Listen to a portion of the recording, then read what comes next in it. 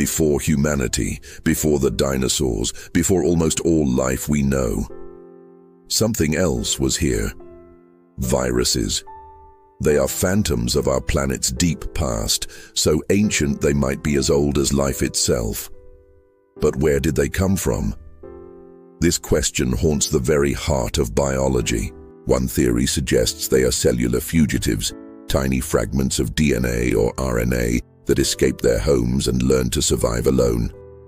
Another whispers of a lost, pre-cellular world, where these entities reigned supreme before the first true cells ever formed.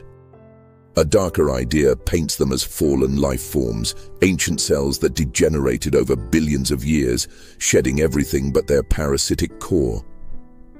Every living thing is their target.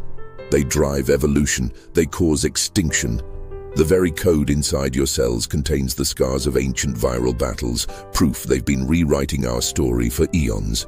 So the mystery isn't just where they came from, but were they ever truly alive?